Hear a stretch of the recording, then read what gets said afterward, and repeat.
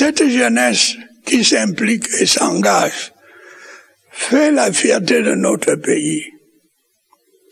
Elle constitue un modèle d'abnégation, de conscience patriotique, de service pour l'intérêt général, de préservation de la souveraineté et de l'unité nationale. Puisse leur exemple vous inspirer dans divers autres domaines de la vie nationale.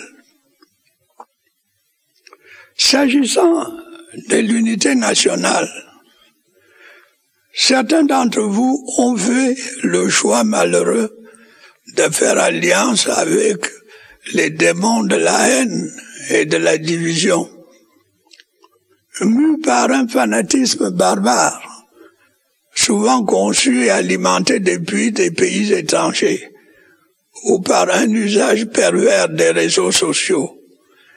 Ils tentent de s'aborder les bases de la nation.